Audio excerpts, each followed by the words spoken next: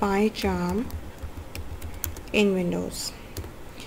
Uh, so you have to search on Google or any other website for PyCharm and just search PyCharm download and you have these options okay? You can see this.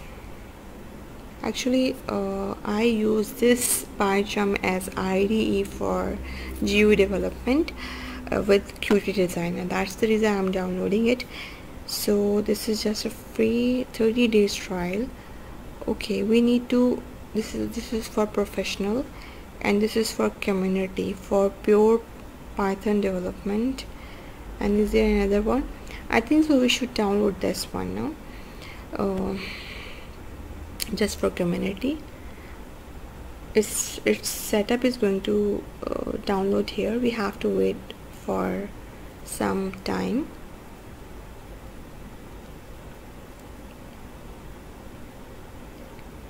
You need to wait a little bit. Inshallah in my other videos I will tell you how can you crack its professional version. So it's a secret. As you know that we cannot put this thing on YouTube but I will put it for you so we have to wait a little bit. Um, it will take one minute I think. It will take a minute.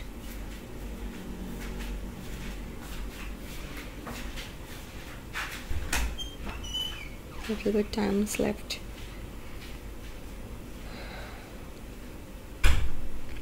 You can uh, ask in comments that what video you people are wanted for specifically for GUI development. I have a list of videos that I will first I will install multiple softwares that's needed for my GUI development. And afterward I will follow that the list of videos that is uh, related to GUI development for different buttons with having radio buttons and different buttons in Qt designer. So just wait for 4 seconds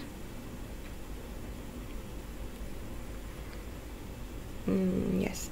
Then you have to open it. Many people use uh, python id for and link this with qt designer but actually i mostly I, you can say that i'm habitual of following pycharm. So that's the reason i'm downloading this as ide for my qt designer. Oh, i don't know why it's taking much time. Mm, we need to wait it. It's in. It will take 1.4 GB okay?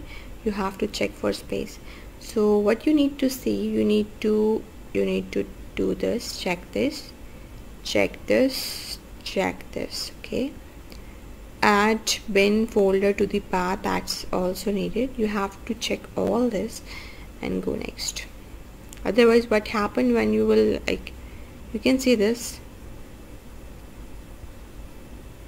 Um, install. It will take a little bit time and you have to wait.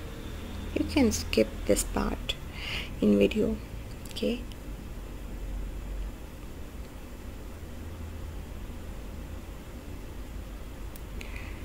Sorry for the like for this.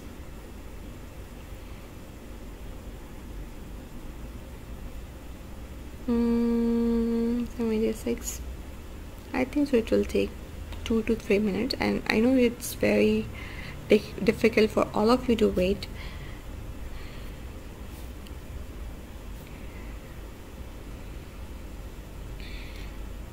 One, two, three, four, five, six, seven, eight, nine, ten, eleven, twelve, thirteen, fourteen, fifteen, sixteen, seventeen, eighteen, nineteen, twenty and it's um, it's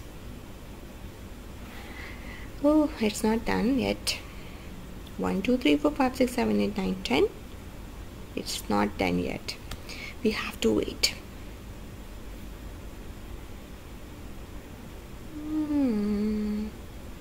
there's so many things that these software need needed. And this just all for us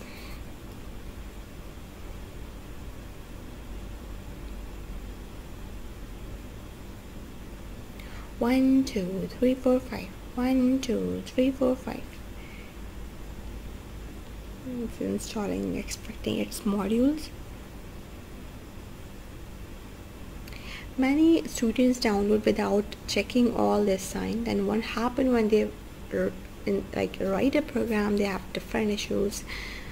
So you have to just keep this thing. I want to manually reboot later okay? That's it's just done so you have to check either install or not. You have to search it PyCharm. Here you can see it's 2022 okay? So that's like that's a huge uh, for today. It will take a little bit time and you will see its id environment I don't know why it's not opening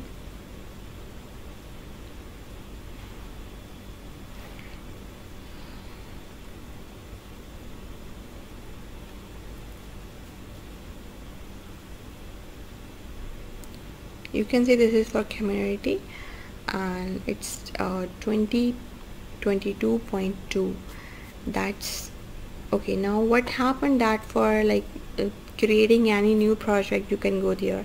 For the project that you already made you can go for open and there are some other projects that are like built-in project you can go for it.